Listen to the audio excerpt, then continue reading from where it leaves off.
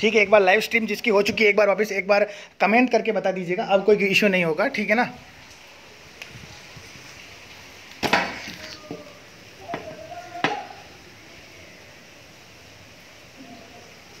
ठीक है, लाल रस स्ट्रोक चाय का लाल रस स्ट्रोक ठीक है।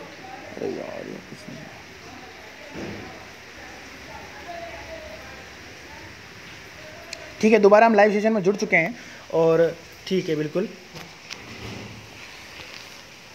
हाँ आठवां क्वेश्चन आज का बिल्कुल ठीक है। आप भी थोड़ा प्रिपेयर रहिएगा। थैंक यू सो मच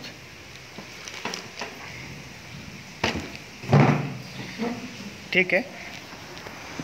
अब आई थिंक कोई ए, कोई भी इंक्रूवमेंट्स नहीं होगा ठीक है? चाय का रात रात स्ट्रोक बताइएगा। जीवाणु लाइकिन कैबक व शेवाल। ठीक है? एक बार वापस ग्रुप में शेयर कर देना इसको जिससे कि ग्रुप वालों को पता चल जाए। बॉयज़ बॉयज़ वाले ग्रुप में और गर्ल्स गर्ल्स वाले ग्रुप में इसको शेयर कर दो। ठीक है और टेलीग्राम पे भी कर देना अगर कोई जुड़ा हुआ है तो। टेलीग्राम में ज़रूर करना एक बार ठीक है ना? टे, टेलीग्राम में कुछ नए स्टूडेंट भी जुड़ने वाले हैं इस हिसाब से।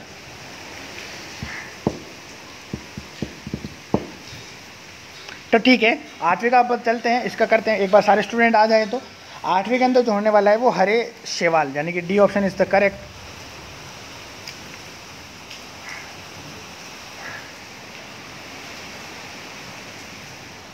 ठीक है ब्लू ग्रीन एल्गी की वजह से चाय में लाल रस रोग होता है। नेक्स्ट चलते हैं बिल्कुल। नींबू का जो कैंकर रोग है, वो किसके कारण होता है?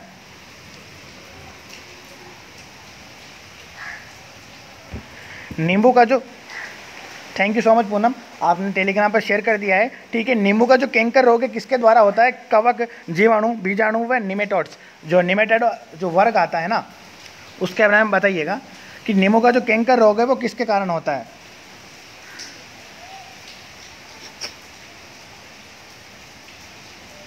बिल्कुल। बी ऑप्शन जो जो बोल रहा है, बिल्कुल। जतिन कुमार जी, सैनी, सरिता डाका, एकता व मनीष कहरिया जी, बिल्कुल आपने बिल्कुल सही जवाब दिया है। ठीक है, bacteria. Okay. B option is correct of question number nine नींबू का जो कैंकर रोग है, वो जीवाणु द्वारा होता है, ठीक है ना? ठीक है ऑल राइट नेक्स्ट चलते हैं, एक बार थम्सअप कर दो, उसके बाद अपन नेक्स्ट चलते हैं क्वेश्चन पे, और सारे स्टूडेंट आ चुके हैं आई थिंक सारे स्टूडेंट अपने।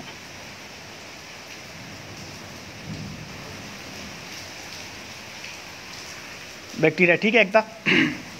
नेक्स्ट चलते हैं, बिल्कुल, आप एक बार थम्सअप कर दीजिए ओके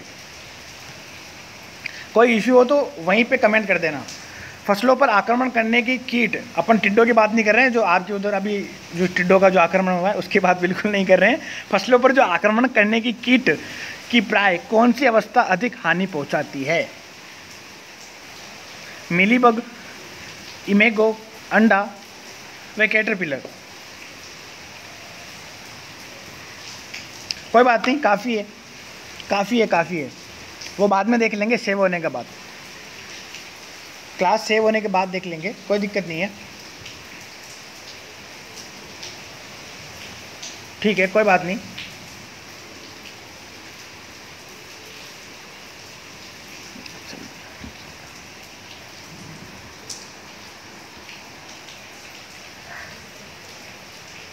ठीक है, दस में दो। ठीक है बेस्ट ने जवाब दिया है। पूनम धायल ने जवाब दिया है। ठीक है, धायल ने जवाब दिया ठीक है, मैंने नाम बिल्कुल सही से लिया है अभी। सरिता ढाका, मनीष और जतिन कुमार सैनी। एकता डोटासरा।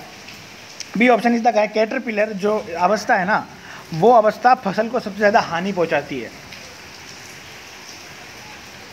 कोकून वगैरह। पत्तियों को तो खाकर वो जीते हैं वैसे भी। नेक्स्ट चलते हैं, मिलीबग। मिलीबग आपको बता दूँ तो एक कीड़ा सा होता है, जैसे बड़ा, आप देख लो, बड़ा मकोड़ा, ये समझ लो आप। ठीक है ना? मिलीबग किस फ़सल से संबंधित है। सरसों, बैंगन, आम व गेहूँ। ऐसा ही कुछ होता है। मिलीबग किस फ़सल से संबंधित है। सरसों, बैंगन, आम व गेहूँ। ग्यारहवीं क्वेश्चन का सब आंसर देंगे। ग्यारह स्लेस लगा के।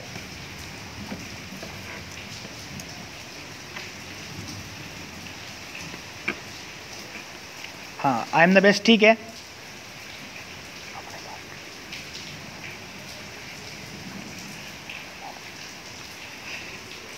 ठीक है, बिल्कुल। सही था डाका कृति जहांगीर जी ने, ठीक है, आप कृति आप रोज़ाना जल्दी आइएगा।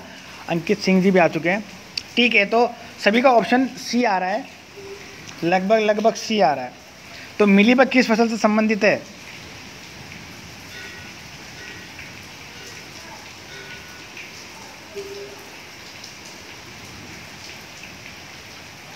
बिल्कुल ठीक है। क्या हुआ? ठीक है, बिल्कुल। नेक्स्ट चलते हैं, बिल्कुल, जैसा भी आप लोगों को पता ही है तो फिर ठीक है। ओ, विगत कुछ वर्षों से देखो, मिली मिलीवर के बारे में कुछ कोटेशन है, ये थोड़ा इन्फॉर्मेटिव हो सकता है अपने लिए।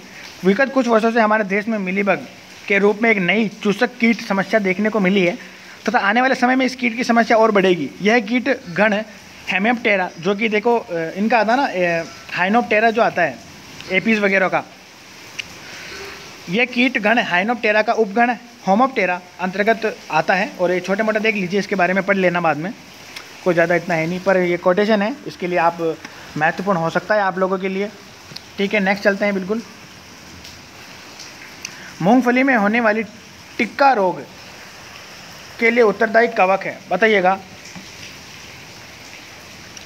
मूंगफली में टिक्का होता है और मूंगफली सर्वाधिक गुजरात में होती है, ये तो पता है।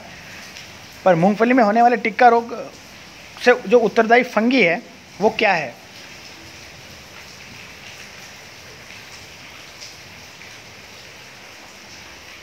सभी एक बार कमेंट कर दीजिएगा।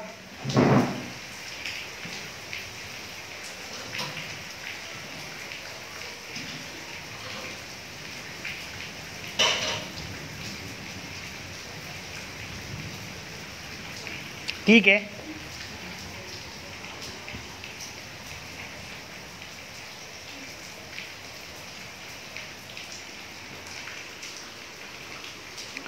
ठीक है, बिल्कुल।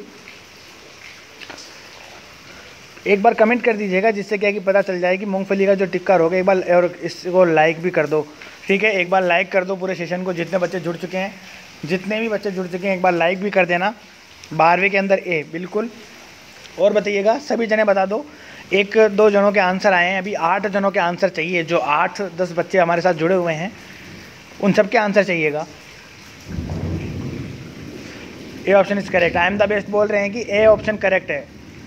Okay Sandeep Yadav A Ekta Dotasara A okay बिल्कुल ए ऑप्शन इज़ करेक्ट ठीक है ना?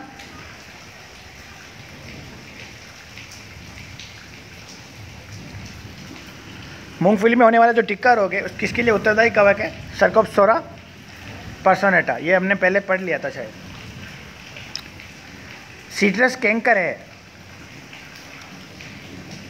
भाई, क्या है सीट्रस कैंकर? नींबू की एक प्रजाति, नींबू की प्रसिद्ध कीट, नींबू का एक रोग भाई, इनमें से कोई नहीं। सीट्रस कैंकर है।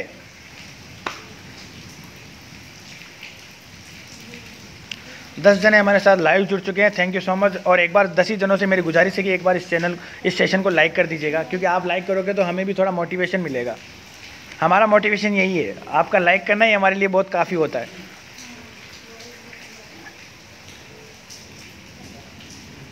और इस नेटवर्क इशू की वजह से तो I am really sorry for that and I will be okay thank you so much okay citrus canker जो है, वो बताइएगा, इसका आंसर बताओ फटाफट, आप सारे जने कमेंट कर दीजिए।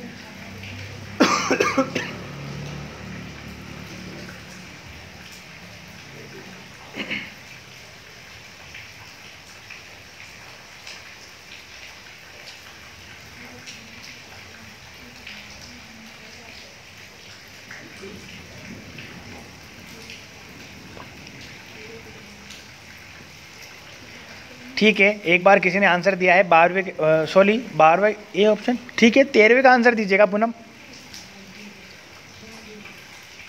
तेरहवें का आंसर दीजिएगा। यहाँ पे थोड़ा नेटवर्किंग इशू के हिसाब से भी थोड़ा ये हो रहा है।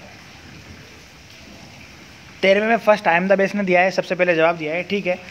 आगे बताइएगा। और भी सभी जने आंसर दे दो, जिससे कि आप पता चल जाए कि कौन सा इसका आंसर सही करना है। नींबू की एक प्रजाति है सीट्रस कैंकर ये बताया है एक जने ने।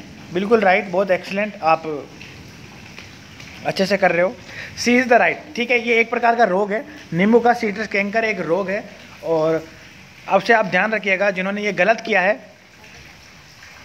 बिल्कुल थैंक यू सो मच आपका लाइक करने के लिए। लेकिन बाकी स्टूडेंट जो 11 स्टूडेंट जुड़े हुए, मैं हम्बल रिक्वेस्ट है आपसे कि आप प्लीज़ एक बार लाइक कर दीजिएगा इस सेशन को।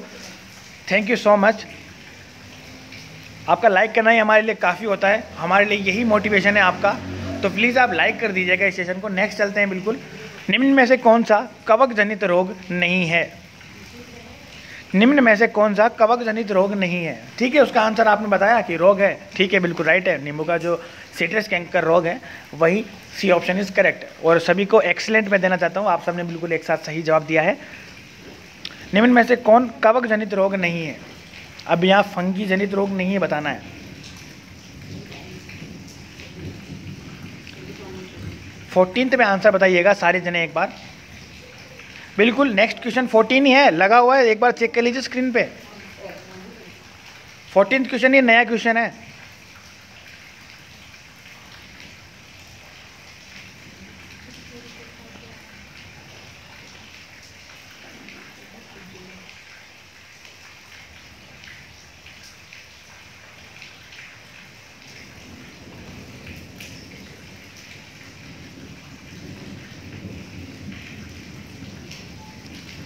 ठीक है? ठीक है? मेरी आवाज़ ये वॉल्यूम पीछे चल रही है क्या? हेलो ठीक है, बिल्कुल।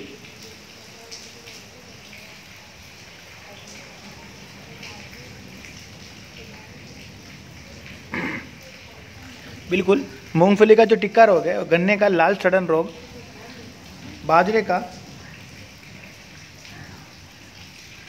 ग्रीन एयर रोग, तंबाकू का मोजेक रोग।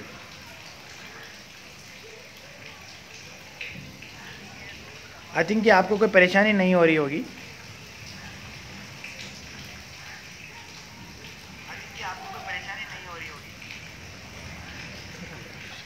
ठीक है, मूंगफली का ठीक हाँ ठीक है। फोर्टीन क्वेश्चन में डी ऑप्शन ठीक है, तंबाकू का जो मोजेक रोग है, वो फंगी, वो फंगस से नहीं होता। ये बात बिल्कुल सही जवाब दिया है सबने, बिल्कुल। ठीक है? जो तंबाकू का जो मोजेक रोग है स्टूडेंट्स वो फंगी के द्वारा नहीं होता है। Thank you so much for जवाब देने के लिए। डी ऑप्शन इज़ करेक्ट ठीक है तो नेक्स्ट चलते हैं बिल्कुल। पंद्रह क्वेश्चन आपकी स्क्रीन पे कि गेहूँ से संबंधित रष्ट रोग पर कार्य करने वाले कौन वैज्ञानिक थे? बताइएगा। एच डी बोल्ड के सी मेहता बिरबल सहानी और डी डी पंत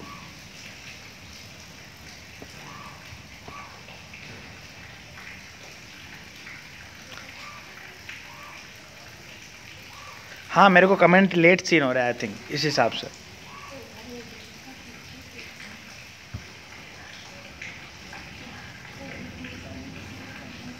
बट कोई इशू नहीं है अब। देखिए नेटवर्क इशू की वजह से ये सब तो ग्लिच होते रहते हैं।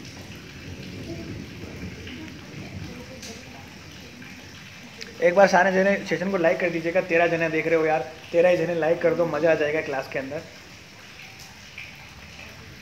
प्लीज़ लाइक कर दीजिएगा सेशन को। फोर्टीन में डी इज़ राइट बिल्कुल मनीष जी फोर्टीन पे डी राइट है। आपका कहना बिल्कुल सही है। एक बार आप इसका जवाब दे दीजिए क्या? कि फिफ्टींथ में क्या होगा? गेहूँ में संबंधित दृष्ट रोग का जो कार्य करने वाला जो वैज्ञानिक है, वो कौन से थे? एच बोल्ड के सी मेहता बिरबल साहनी व डी डी पंत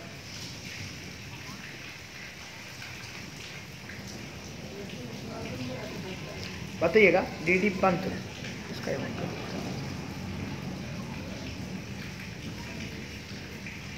आप पीछे हो कमेंट्स में, ठीक है? यहाँ तो स्टॉप करते हैं। नेक्स्ट कमेंट दीजिएगा।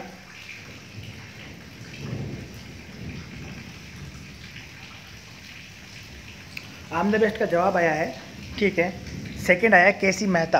बिल्कुल केसी मेहता जो है बी ऑप्शन इसका करेक्ट है I am the best B option इसका करेक्ट है। केसी मेहता जो है, गेहूँ से संबंधित रस्ट रोग पर कार्य करने वाले हमारे वैज्ञानिक है ओके नेक्स्ट चलते हैं, बिल्कुल।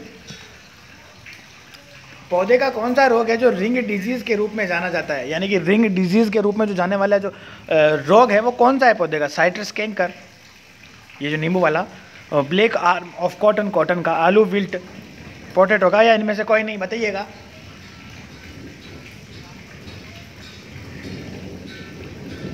ठीक है, सभी जवाब दे रहे हैं, बिल्कुल करेक्टली जवाब दे रहे हैं। और 10 बच्चे हमारे साथ लाइव में जुड़ चुके हैं। थैंक यू सो मच जुड़ने के लिए और आप एक बार इस सेशन को लाइक कर दीजिएगा, जिससे क्या है कि हमें और मोटिवेशन मिले आप ही की तरह। क्योंकि हमारा मोटिवेशन बस आपके लाइक करने जितना ही है। ठीक है सिक्सटीन में दी जवाब दे रहे हैं। कृति जहांगीर जी ने जवाब दिया है। ओके इनमें से कोई नहीं है? ठीक है।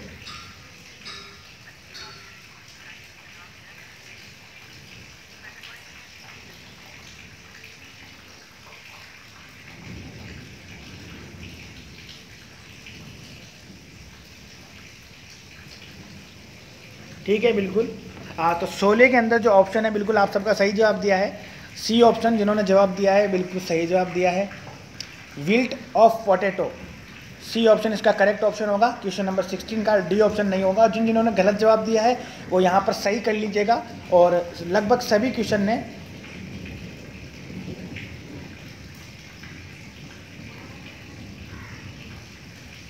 ठीक है ना? पौधों पर कौन सा रोग रिंग डिज़ीज़ के रूप में जाना जाता है वो है आलू का विल्ट रोग। ओके नेक्स्ट चलते हैं। ओके okay, अच्छा तो इम्पोर्टेंट नोट आता है आलू का विल्ट रोग बैक्टीरिया की वजह से हो, में पौधों में होता है और एक बार देख लीजिएगा किस प्रकार से इस पिक्चर में आपको नज़र आ रहा होगा और ठीक है ना इसे रिंग डिज़ीज़ के रूप में भी जाना जाता है क्योंकि इसमें भूरे रंग के छल्ले जाइलम पर बनते हैं। ध्यान रखिएगा जाइलम के ऊपर भूरे रंग के छल्ले बनने से इसको रिंग डिज़ीज़ के रूप में जाना जाता है। ये एक बार देख लीजिए यहाँ पर मैं स्क्रीन को थोड़ा जूम कर देता हूँ। आई होप कि आपको ये इम्पोर्टेंट नोट आपको दिख रहा होगा। बिल्कुल सिक्सटीन में।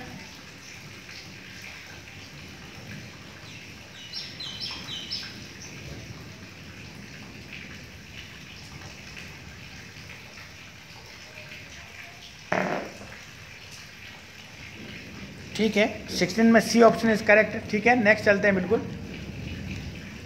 सेवनटीन क्वेश्चन पौधों के रोग का नाम बताइए, जिसमें पत्ते पर बड़े रंग के पीले धब्बे दिखाई देते हैं। नाइस क्वेश्चन पत्तों पर पीले, बड़े रंग के पीले धब्बे दिखाई दे हैं। वो डिज़ीज़ का नाम बताना है। बैक्टीरियल ब्लाइट बैक्टीरियल स्पॉट एडिफ्ट या फिर बैट्रियट्रिस आई मीन बॉट्रियट्रिस ट्वार्ड्स नेक्स्ट बता दीजिएगा।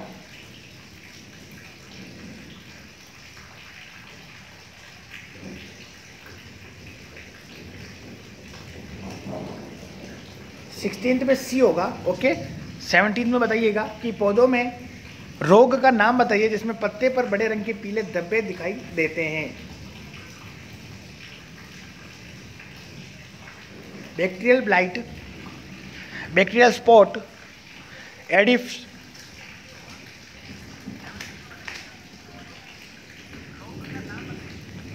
और बॉटरीज सेवनटीन में किसी ने बी बताया bacterial spot okay thank you जवाब देने के लिए। नेक्स्ट बताइएगा, सारे क्वेश्चन सारे बच्चे बारह जने जो जुड़ चुके हैं, उन सभी का जवाब आना चाहिए, इसके अंदर कि क्या होगा। ठीक है? ओके तो सेवनटीन के अंदर जो आंसर होगा, उसका जो आंसर होने वाला है दोस्तों, वो होता है बैक्टीरियल ब्लाइट ए ऑप्शन इसका करेक्ट होगा, ठीक है? ए ऑप्शन इसका करेक्ट होगा बैक्टीरियल ब्लाइट जो है पौधों में, वह रोग है जिसके अंदर पत्ते पर बड़े रंग के पीले धब्बे दिखाई देते हैं। नेक्स्ट चलते हैं बिल्कुल। अच्छा एक इंपॉर्टेंट नोट है, एक बार ध्यान कीजिएगा कि पौधों के बैक्टीरियल ब्लाइट रोग में बड़े पीले रंग के धब्बे पत्तियों पर दिखाई देते हैं, जो कि बाद में भूरे रंग के हो जाते हैं। झुलसा रोग यानी ब्लाइट का प्रकोप अनेक फ़सलों पर होता है, जैसे धान, जो, कपास, आलू व बैंगन स्त्रोत वेकीपीडिया। ओके नेक्स्ट चलते हैं।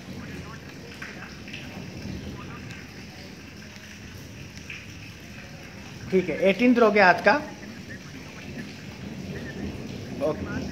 बंची टॉप ऑफ़ बनाना रोग पौधे में किस कारण से होता है? जीवाणु बैक्टीरिया कवक उपयोग में से कोई नहीं। बताइए वायरस बैक्टीरिया फंगस या इनमें से कोई नहीं। एटीन क्वेश्चन का आंसर कमेंट में दीजिएगा।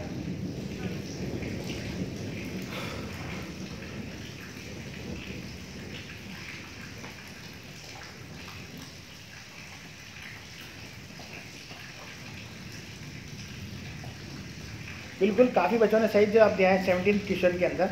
मुझे कमेंट लेट से हो रहे हैं, लेकिन फिर भी ठीक है। आई थिंक स्क्रीन का तो कोई इशू नहीं होगा। कमेंट का तो चलो कोई छोड़ो, क्या दिक्कत है?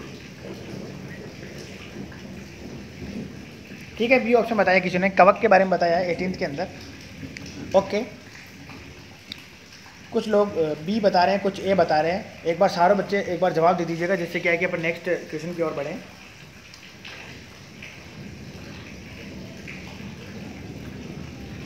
काफ़ी बच्चे ए और बी जवाब दे रहे हैं। एक बार ऐसा कीजिए कि सारे बच्चे जवाब दे दीजिए, जिससे कि अपन नेक्स्ट टॉपिक की तरफ़ या नेक्स्ट क्वेश्चन की तरफ़ अपन बढ़े।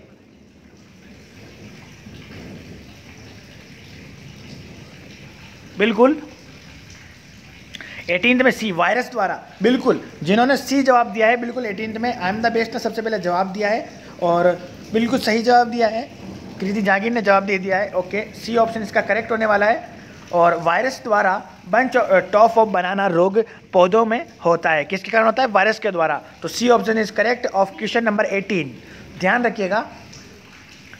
नोट के द्वारा आज पीडीएफ का जो इशू है वो बहुत ही शानदार होने वाला है। वो बहुत ही शानदार होने वाला है। बंच टॉप ऑफ़ बनाना रोग पौधों में वायरस के कारण होता है और जिसमें पौधे जो है बोना रह जाता है। मतलब छोटा हो जाता है केले का पौधा और, और सभी पत्तियाँ एक जगह संचित यानी कि इकट्ठी हो जाती है।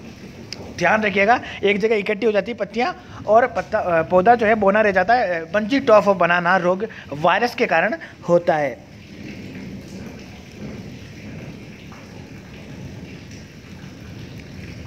अब उनतीसवा क्वेश्चन, उन्नीसवा क्वेश्चन तो अभी तक आया ही नहीं है। सी ऑप्शन किसने लगा दिया?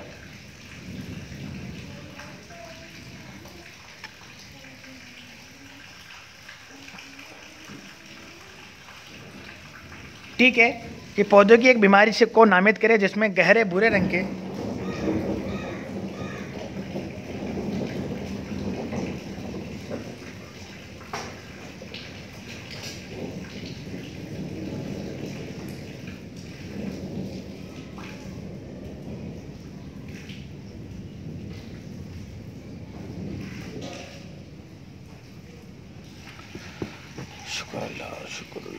हो जा हो जा लाई लाई लाई हो जा भाई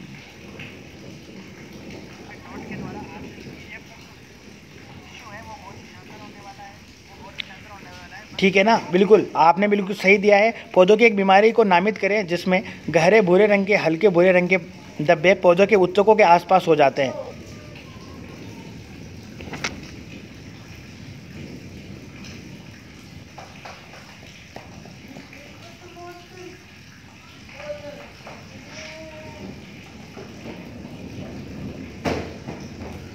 लाइव सेशन में ठीक है, उन्नीसवें क्वेश्चन का आंसर बताइएगा। पौधों की एक बीमारी को नामित करें, जिसमें से गहरे, बुरे रंग के, हल्के बुरे रंग के धब्बे पौधों के उत्तक को आसपास हो जाते हैं। ग्रे मोल्ड, साइट्रस, कैंकर व स्पाइडर मिलेट उपयुक्त में से कोई नहीं, यानी इनमें से कोई none of these what is the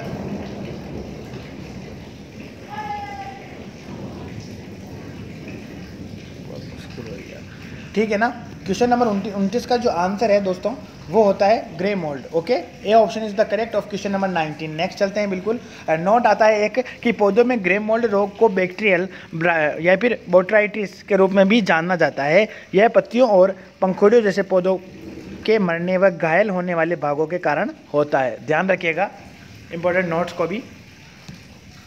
next चलते हैं।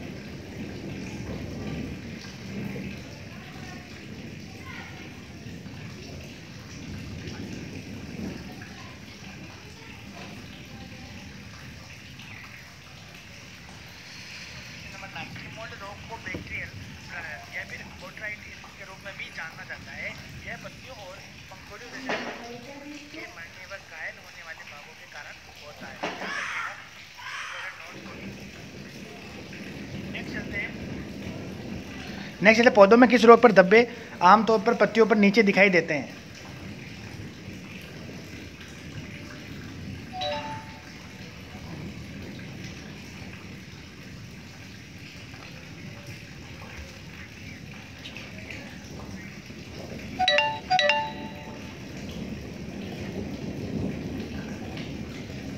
ठीक है नेक्स्ट चलते हैं। ओके, आवाज़ का इशू हो रहा है, कोई बात नहीं, अब थोड़ी आवाज़ तेज़ कर लेते हैं, ठीक है? पौधों के किस रोग पर सफ़ेद धब्बे आमतौर पर दिखाई देते हैं? बताइएगा ए बी व सी व डी बताइएगा आंसर साइलेंट्री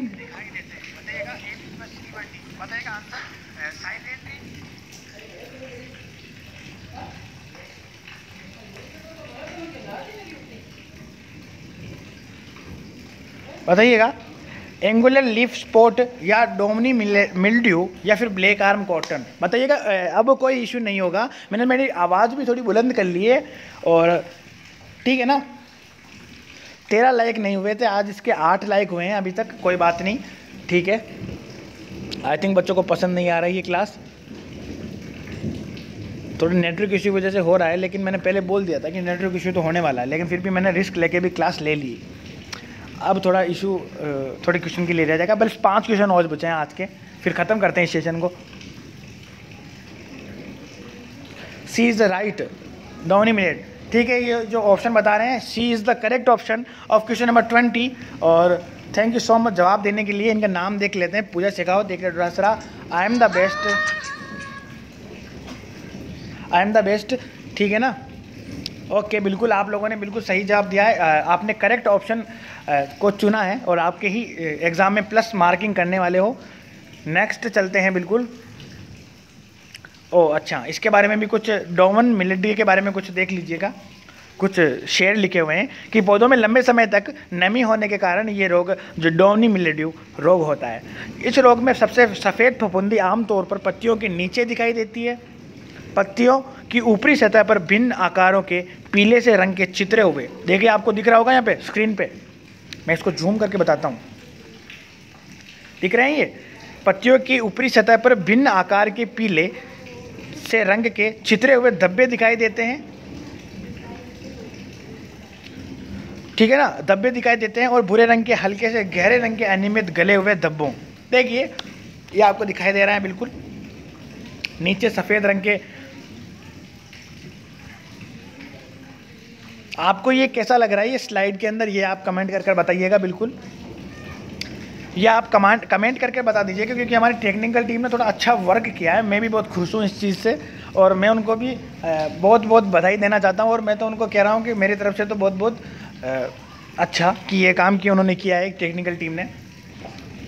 इससे समझने में आसानी रहती है क्वेश्चंस को। ठीक है। Next question okay bro next question students ये लीजिए, आपकी स्क्रीन पर आ चुका है कि बैक्टीरियल ब्लाइट राइज रोग पौधे में किस बैक्टीरिया के कारण होता है? क्या वो स्यूडोमोनास बैक्टीरिया क्या वो जेंथोमोनास सेट्री क्या वो जेंथोमोनास ओराइजा या उपयुक्त में से कोई नहीं नन ऑफ़ दीज बताइएगा। बारह स्टूडेंट जुड़ चुके हैं, बारह ही कमेंट कर दीजिए एक बार और लाइक कर दीजिएगा इसको सेशन को, जिससे क्या है कि हमें और मोटिवेशन मिले और अच्छा भी लगे थोड़ा लाइक करने पर।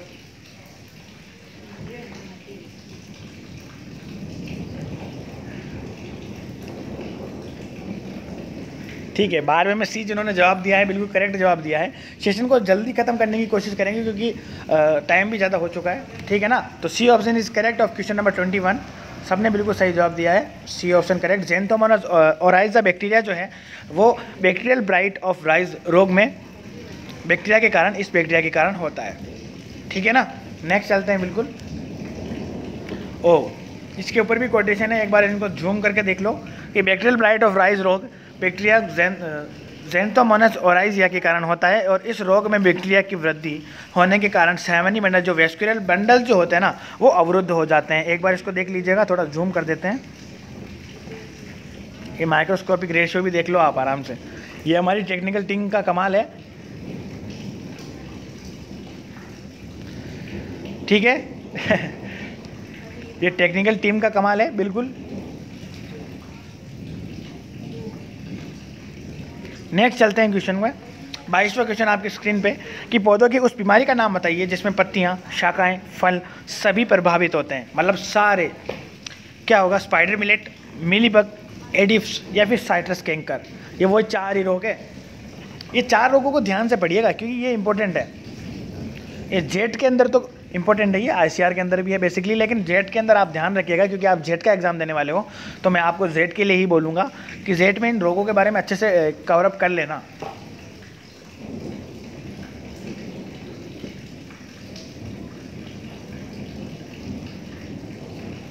बाईस में डी कृति जहांगीर जी ने जवाब दिया बाईस में बाईसवें में डी ऑप्शन ठीक है? जो साइट्रस कैंकर रोग जो है ना, वो बिल्कुल ठीक है, जो जिसमें पत्तियाँ, फल, शाखाएँ सभी प्रकार से प्रभावित होती है, और ये नींबू नींबू का साइट्रस कैंकर रोग होता है। नेक्स्ट स्लाइड में आपको नज़र आ रहा होगा कि नींबू के ऊपर भी फफूंद आई हुई है, पत्तियों पे तो है ही है, और पूरे पौधे पे तो है ही है। तो साइट्रस कैंकर कैंकर जो रोग है, ये स्लाइड का कमाल है बिल्कुल। आप इसको यहाँ पर देख सकते हो लाइव कोई दिक्कत नहीं है। ठीक है ना? बिल्कुल ये स्लाइड का कमाल है।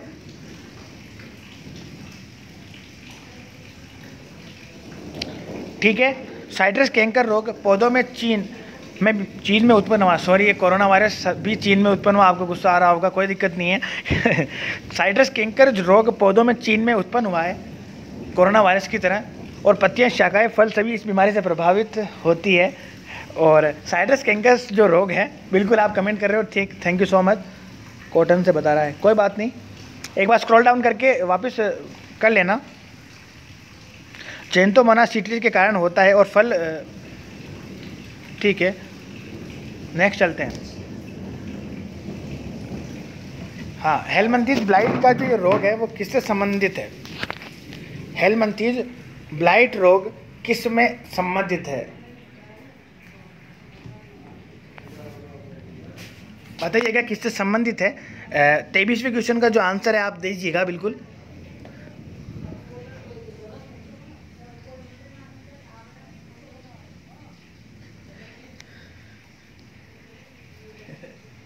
ठीक है बिल्कुल। तेईसवें का आंसर बताइएगा। बिल्कुल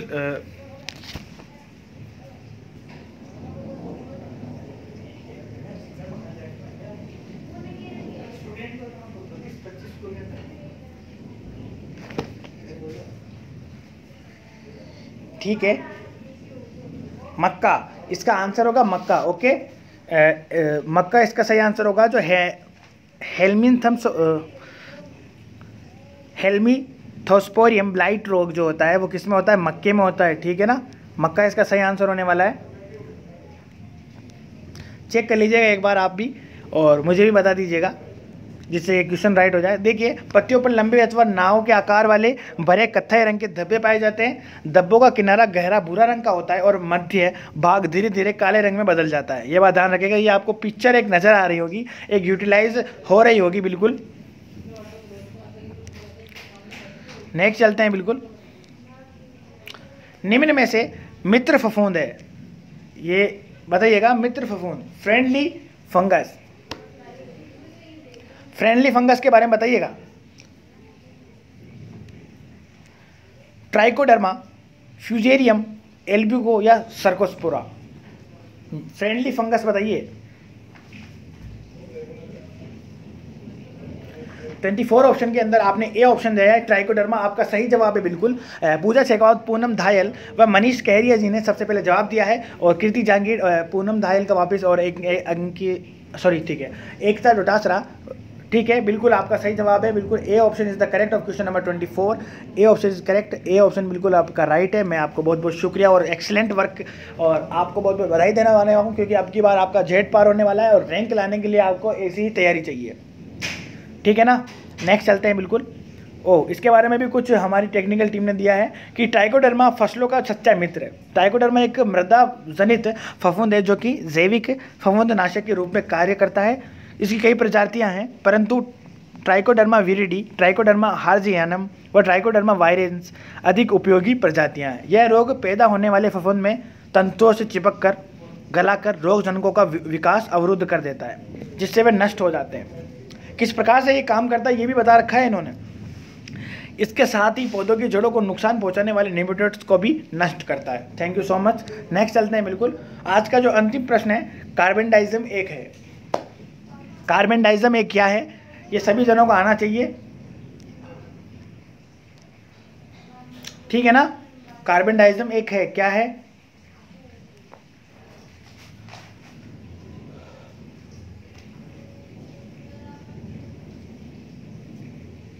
बताइएगा कि कार्बन डाइजम क्या है? कीटनाशक, विषाणुनाशक खरपतवार नाशक व कवक नाशक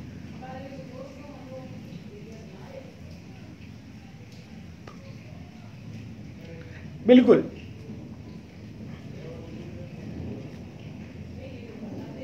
हाँ पच्चीसवें में डी ऑप्शन, बिल्कुल आपका सबका सही जवाब है। D option is the right of question number twenty five. Thank you so much आपका जवाब देने के लिए। और पच्चीसवा क्वेश्चन इसका राइट है नेक्स्ट देख लेते हैं। ओ, ठीक है। ये कार्बन डाइजन की एक सेल है, ये कोई मेरे को प्रोडक्ट लग रहा है किसी का सेफ़ जो ठीक है ना? ये कोई प्रोडक्ट की पिक्चर है आपको, जिसके अंदर टेक्निकल अपन देखें तो कार्बन डाइजम बारह परसेंट और मैनकोजेब जो सिक्सटी थ्री परसेंट इसका वॉल्यूम है और सब्सटेंस ग्रुप जो होता है, ठीक है ना? उत्प्रेरक ग्रुप उत्पादक ग्रुप जो है कार्बेंडिजियम बेंजेमाइडोल ये सब मिला हुआ होता है। इसके अंदर जो ये प्रोडक्ट टाइप है, ये किसका है? फंगीसाइड और मेटाबोलाइट ध्यान रखिएगा फंगीसाइड और मेटाबोलाइट ये प्रोडक्ट टाइप है। ये कोई प्रोडक्ट है जिसके अंदर जो कवक नाशक है आपका कार्बन डाइजाइम जिसकी परसेंटेज वगैरह दे रखी है। ये ऐसे ही बताने के लिए दे रखी है कि कवक नाशकों के अंदर कितना क्या परसेंटेज होता है या फिर क्या है रोल वगैरह। ठीक है? ठीक है, आज का जो कोटेशन है, वो पढ़ लेते हैं, बिल्कुल कि हुनर होगा तो दुनिया खुद कदर करेगी, एड़िया उठाने से किरदार ऊँचे नहीं होते। ध्यान रखिएगा, आपके अंदर अगर हुनर है कि आपको जेट पार करना है तो दुनिया आपकी कदर करेगी और आप अच्छे कॉलेज में जाकर अच्छी पोस्ट पर जाओगे। ठीक है ना? ये बात ध्यान रखिएगा। और यही आपके लिए मायने रखेगा, दुनिया में और कोई चीज़ें मायने नहीं रखती। अगर हुनर है, आप में काबिलियत है और अच्छी पोस्ट है तो सब कदर करेंगे। ठीक है? तो मैं आशा करता हूँ कि आप इस जेट में आने वाले एग्ज़ाम में सभी रैंक लेकर आओगे। ना सिर्फ़ पास होना है, केवल रैंक लेके आनी है। समझ रहे हो ना आप मेरी बात? और आपको ये चैनल अच्छा लगा हो तो देखिए, बिल्कुल हमारे नए सिरे से आपको जो फॉर्मेट कैसा लगा, ये बात ये बात बता दीजिए कि फॉर्मेट कैसा लगा। ठीक है?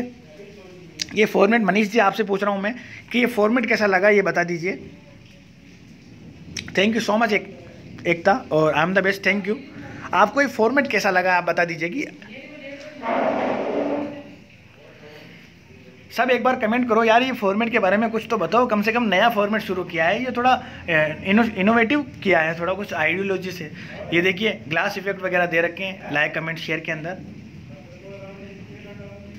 ठीक है तो like thank you so much वो लाइक करने के लिए। आपका बहुत बहुत धन्यवाद और इस लाइव चैट के अंदर।